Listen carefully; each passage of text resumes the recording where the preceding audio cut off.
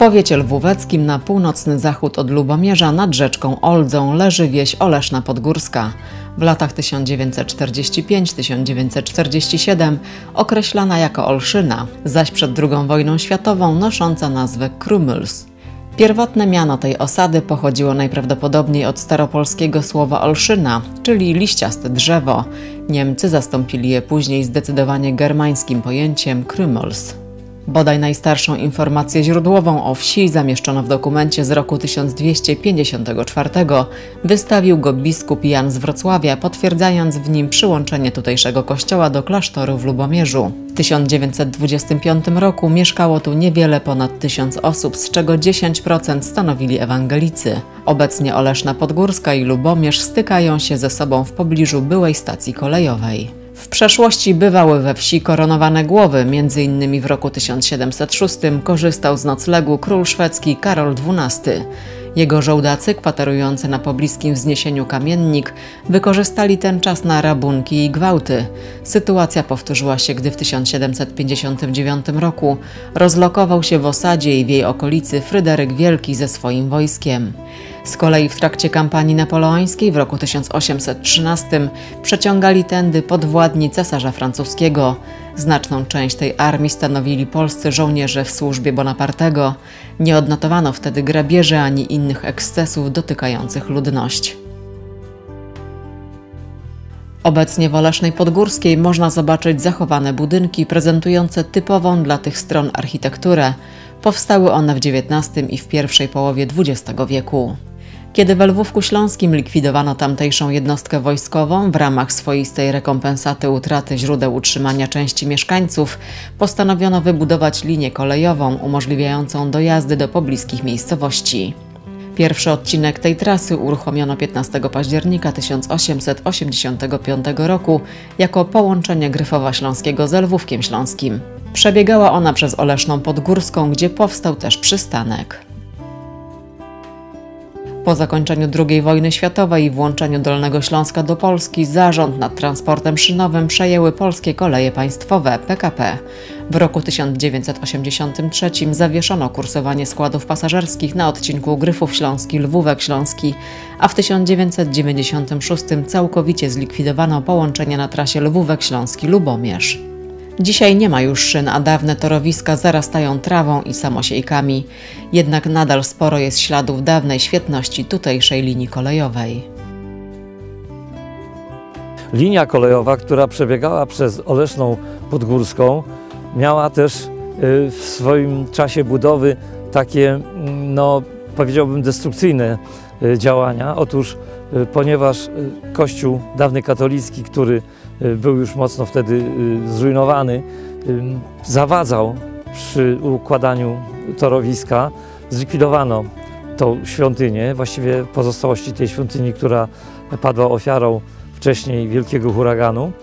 Natomiast została wieża, ta wieża do dzisiejszego dnia stoi, a tuż za granicą Olesznej Podgórskiej zaczynał się teren przynależący do Lubomierza. I dzisiaj stoimy z kamerą w takim miejscu, gdzie tuż za granicą właśnie to, co już powiedziałem wcześniej, Olesznej, Podgórskiej i Lubomierza, wybudowano dość okazały jak na e, tą linię całą komunikacyjną dworzec kolejowy. On dzisiaj zachował w niektórych swoich tam miejscach dawne napisy. Oczywiście tu już nie ma dworca, nie ma linii kolejowej, zostały fragmenty ramp.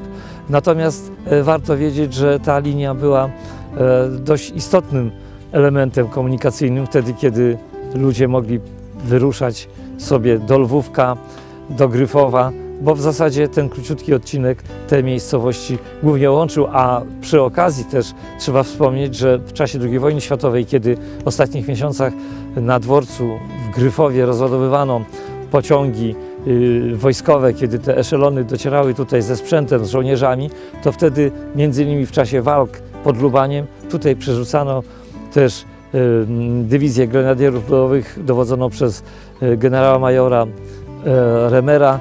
No i ci ludzie później wchodzili do walki. Przy budynkach dawnego dworca kolejowego już w Lubomierzu, a podkreślam to raz jeszcze, że jesteśmy na granicy tych miejscowości Olesznej Podgórskiej Lubomierza, można znaleźć stare jeszcze pozostałości z takich y, no dość y, wiekowych urządzeń kolejowych, y, takie wartownie, budki wartownicze, ale to już jest czas miniony tak jak wspominałem, niewiele tych fragmentów kolejnictwa dawnego tutaj można zobaczyć.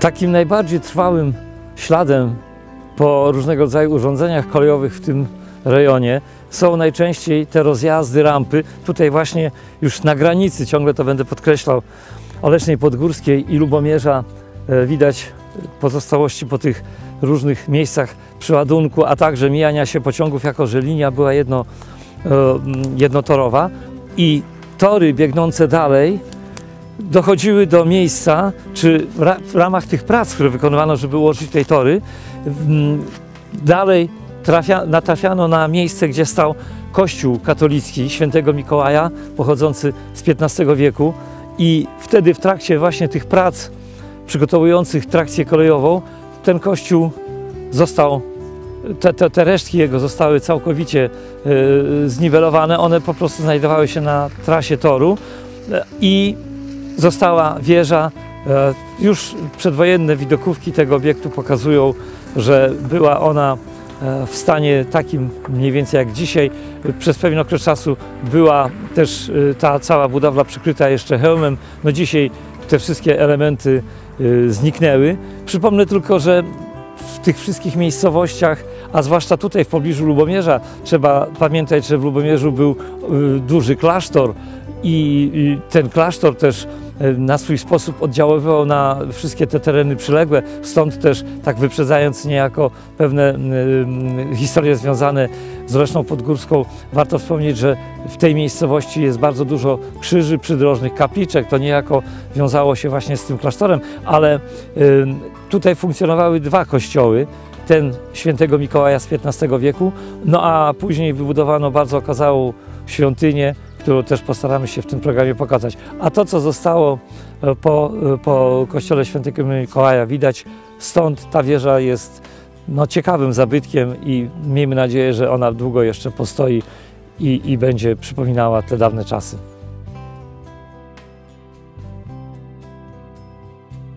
Niegdyś wjazd od strony Lubomierza szosą był zamykany zaporami w czasie przejazdu pociągów, do dzisiejszego dnia zachowała się tylko taka stalowa resztka tego, tego urządzenia, a już tutaj blisko można zobaczyć pierwszą z kapliczek, których jak wspomniałem jest bardzo wiele y, w Olesznej Podgórskiej i zróżnicowane są one pod względem kształtu, pod względem tego, co prezentują sobą. Są to najczęściej krzyże na różnych cokołach osadzone, ale to stanowi wszystko taki naprawdę piękny zbiór tych niewielkich obiektów sakralnych.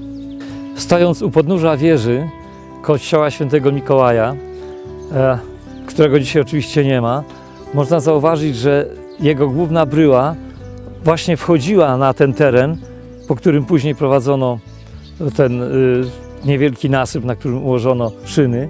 I można zauważyć takie fragmenty, zresztą od czasu, kiedy tej świątyni nie ma, to wiele się zmieniło, jednak przyroda potrafi wypłukać e, z takich ścian różne e, elementy które są mniej zwarte z tym murem. Widać, że od tej strony troszeczkę wyżej była, był dach tej świątyni, no i te wszystkie przejścia, a sama wieża, no trudno się tutaj spodziewać byłoby innego rodzaju materiału budowlanego, skoro sama świątynia pochodziła z XV wieku. Tu pod nogami ciągle się czuje jeszcze ten bazaltowy taki gryz, którym wysypywano pod, pod podkładami ten, ten, całą górną część torowisk. No i pamiątka bardzo ciekawa i na pewno no, godna zauważenia przez tych, którzy przejeżdżają tędy. Losy XV-wiecznej katolickiej świątyni, której częścią była niegdyś ta samotna wieża stojąca blisko granicy z Lubomierzem, są niejednoznacznie opisane w różnych materiałach. Ponoć sam kościół potężnie zniszczył w 1833 roku wielki huragan, natomiast dziwnym zrządzeniem losu ocalała wtedy jego wieża. Resztki zrujnowanego wiatrem obiektu sakralnego rozebrano według części źródeł w 1824 roku, natomiast inne zapiski podają, iż stało się to w trakcie trasowania linii kolejowej z Lwówka do Gryfowa w roku 1885. Przytaczamy więc te dwie opinie. Z daleka widoczna wieża ma plan czworoboczny u podstawy, zaś wyżej jest sześcioboczna. Wewnątrz, według znalezionych informacji, ma wisieć duży dzwon z 1460 roku. Bardzo trwała pozostałość po dawnym torowisku, po dawnej linii kolejowej przebiegającej przez Oleszną Podgórską. I ci, którzy się interesują trochę też techniką, mechaniką, zapewne zwrócą uwagę na te potężne nity, którymi łączono fragmenty tego, tej przeprawy kolejowej. Widać tutaj y, też wtopione w asfalt szyny. I co ciekawego można powiedzieć o tym miejscu? Otóż zapobiegliwie podniesiono dość wysoko za pomocą nasypów po obydwu stronach położenie tego mostku w razie przyboru wód, a zapewne one mają tutaj dość często miejsce, to, to ten, ten mostek był bezpieczny, no i mimo tego wysokiego poziomu, a widać, że tutaj zostawiono miejsce na rozlewisko, e, pociągi mogły kursować, a pod mostkiem akurat w tej chwili przepływają piękne krzyżówki.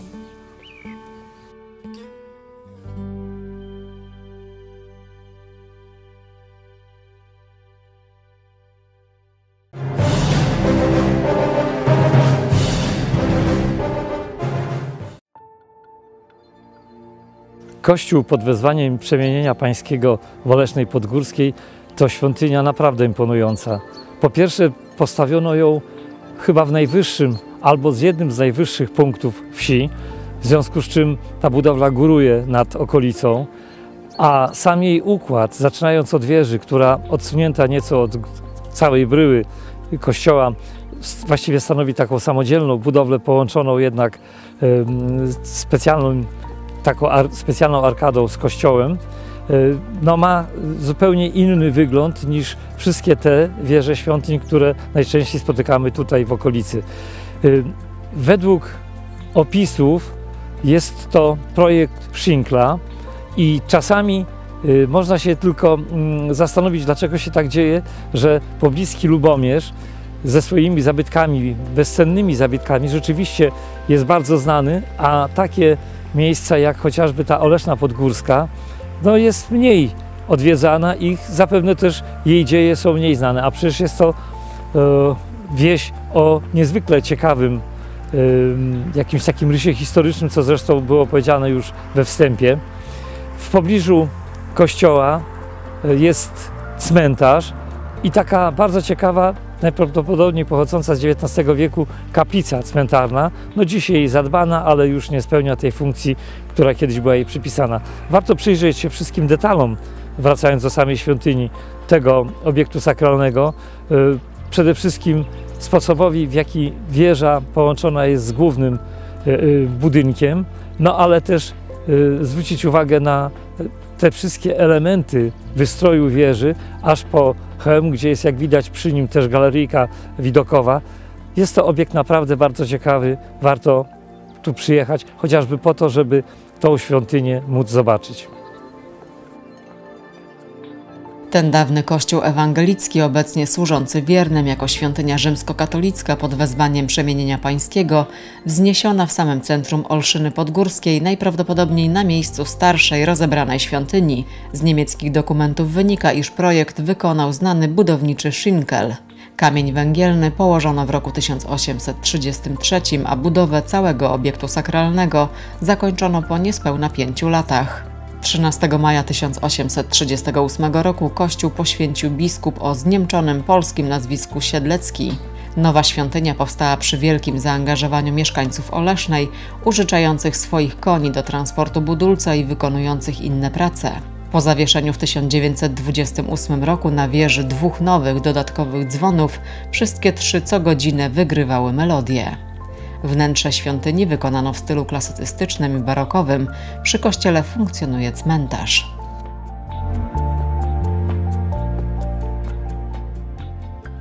W niewielkiej odległości od wieży kościoła, wkopana częściowo w skarpę dziedzińca świątyni przy wiejskiej drodze, stoi odrestaurowana kaplica. Budyneczek pochodzi prawdopodobnie z drugiej połowy XIX wieku, być może spełniał on niegdyś funkcję obiektu przedpogrzebowego.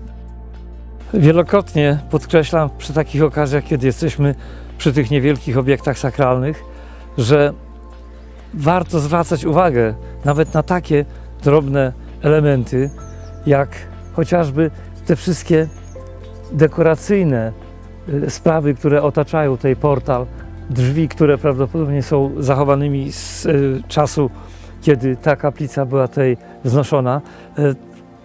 Według zapisów, do których dotarłem, powstała ona prawdopodobnie w połowie XIX wieku, a co ciekawe, była to kiedyś kaplica cmentarna.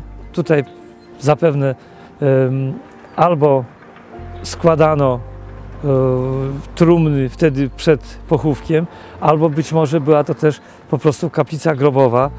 Na razie takich pewnych informacji nie udało mi się znaleźć. Tak czy inaczej jest to obiekt bardzo ładny, ciekawy i co najważniejsze, co się bardzo chwali tym, którzy się tym po prostu obiektem opiekują, że odnowiony, zadbany i na pewno dzięki takiej mm, postawie opiekunów przetrwa jeszcze wiele lat.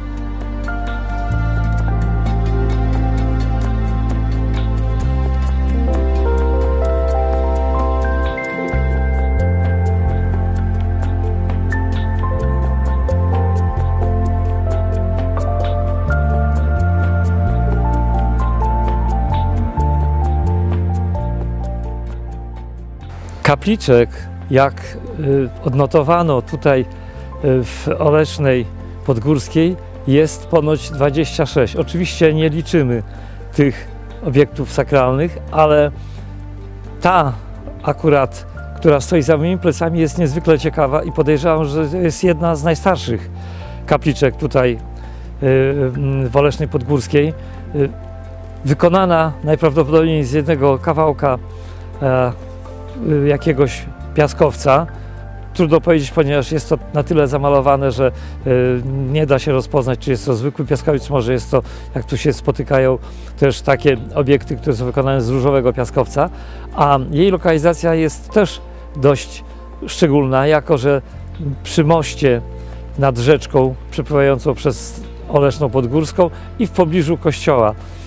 Będziemy pokazywali tych kapliczek więcej, ponieważ są to obiekty sakralne naprawdę godne tego, żeby się nimi nie tylko opiekować, ale żeby je dostrzegać i żeby zachować je dla potomnych.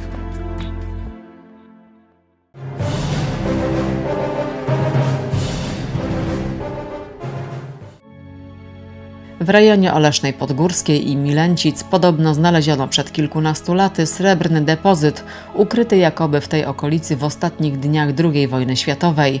Tu jej kres nastąpił wiosną 1945 roku.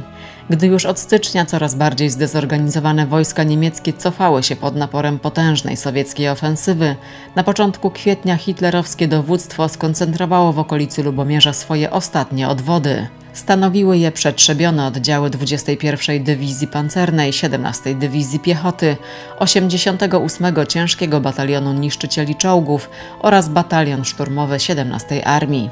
Położone za Lubomierzem Milencice posłużyły za miejsce zakwaterowania żołnierzy 95 Regimentu Grenadierów 17 Dywizji Piechoty. W ramach przygotowań do odparcia Sowietów przy kopaniu polowych umocnień niewolniczo harowali pod wsią zwiezieni z kacetów więźniowie i robotnicy przymusowi. Do Olesznej Podgórskiej według Bolesława Dolaty Rosjanie wkroczyli 9 maja 1945 roku. Ostatnie miesiące II wojny światowej na tym terenie miały charakter bardzo burzliwy, chociaż ciekawostką swoistą jest to, że wtedy, kiedy zajęty był Lwówek i kiedy wydawało się, że Rosjanie wkrótce przejdą dalej, front zatrzymał się tutaj w tych okolicach. E, warto wiedzieć, że Oleszna Podgórska była przygotowywana do obrony, a Rosjanie nie wkroczyli tutaj w trakcie tych walk marcowych, wtedy kiedy po, e, za, po zajęciu terenów już tutaj w pobliżu, kiedy odbywał się ten słynny e, niemiecki zwrot zaczepny e, pod Lubaniem, nazywany często ostatnim zwycięstwem III Rzeszy. Wtedy też w kwietniu jeszcze tutaj w okolicy tej wsi przygotowywano okopy i według przekazów, które zostały sporządzone na podstawie wspomnień różnych ludzi, ustalono, że gdzieś tu przy tej drodze Niemcy, niemieccy esesmani, którzy, e, którzy nadzorowali pracę e, więźniów przewiezionych tutaj aż z Oświęcimia. E, dokonali mordu na kilku, nie wiem, pięciu czy siedmiu osobach i gdzieś tutaj w tym rejonie te szczątki ludzkie po tej egzekucji zostały pochowane. Zresztą takich zbrodni było e, niemieckich na tym terenie znacznie więcej i dotyczyły one nie tylko na przykład robotników przymusowych, którzy tutaj na tych terenach pracowali, także różnego rodzaju więźniów y, z komand roboczych, ale też dotyczyły własnych rodaków. Bardzo wiele wykonano egzekucji na tak zwanych dezerterach. Trudno powiedzieć, czy byli to faktycznie dezerterzy, czy byli to po prostu ludzie posądzeni o dezercję. Y, to, co się działo w ostatnich dniach, miesiącach II wojny światowej, pokazywało na zdziczenie całkowite, na barbarzyństwo tych, którzy wiedząc, że kres jest bliski, nadal topili we krwi nie tylko y, tych, którzy tutaj byli zwiezieni, nie tylko swoich rodaków, ale także powodowali ogromne zniszczenia. Zresztą Hitler uważał, że skoro Niemcy y, nie są w stanie zwyciężyć, to powinni zginąć. No, szaleństwo i, i jakaś zbrodniczość tego człowieka przechodziła wszelkie miary. I taką ciekawostką związaną z tym terenem też jest to, że w okolicach tutaj Lubomierza znajdywano różnego rodzaju ukryte skarby. Znaleziono też jakieś, jakiś złom srebrny, który być może był przygotowany do zabrania stąd przez żołnierzy sowieckich. Według takich zapisków nie do końca mogących być traktowane jako materiały źródłowe, część takiego właśnie skarbu, czy takiego znaleziska została też ujawniona tutaj w okolicach Olesznej Podgórskiej. To wszystko mm, są wspomnienia to wszystko są materiały oparte na wspomnieniach ludzi. Na ile one są prawdziwe, trudno dzisiaj powiedzieć. Niemniej na pewno schyłek II wojny światowej oznaczał dla tej ziemi też bardzo dramatyczne, tragiczne e, przejścia. Później przyjechali tutaj nasi rodacy z terenów wschodnich i zaczęła się zupełnie nowa era tej ziemi. W materiałach historycznych jako dokonujących mordu na bezbronnych więźniach wskazuje się ich strażników lub SS-manów z 18 Ochotniczej Dywizji Grenadierów Pancernych SS Horst Wessel, stacjonującej w tej części powiatu lwóweckiego. Przez dziesiątki lat po zakończeniu wojny w okolicy znajdywano i nadal ujawniane są w trakcie prac ziemnych ludzkie szczątki. Jak w wielu innych miejscach, także ta ziemia ciągle skrywa na dawnych polach bitewnych prochy ofiar różnych militarnych zawieruch, w tym także strasznej II wojny światowej.